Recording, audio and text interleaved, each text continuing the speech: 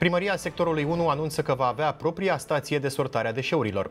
Astăzi sună oficial ultimul clopoțel pentru elevi. Se vor bucura de vacanța de vară până pe 13 septembrie, când începe noul an școlar. Este pericol de inundații pe zeci de râuri din țară. Hidrologii au emis cod portocaliu până sâmbătă. Persoanele vulnerabile vor avea nevoie de un rapel anual împotriva COVID-19, estimează Organizația Mondială a Sănătății. El Salvador este prima țară care adoptă Bitcoin ca monedă oficială din 7 septembrie. În urma anunțului, Bitcoin a crescut la 35.000 de dolari.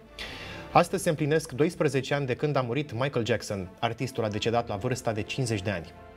Derek Chauvin, fostul polițist care l-a ucis pe George Floyd anul trecut, își așteaptă astăzi sentința. Poate primi până la 40 de ani de închisoare. Și dacă tot vine weekendul, poți vedea Fast and Furious 9 și Bigfoot Family, care apar astăzi în cinematografe.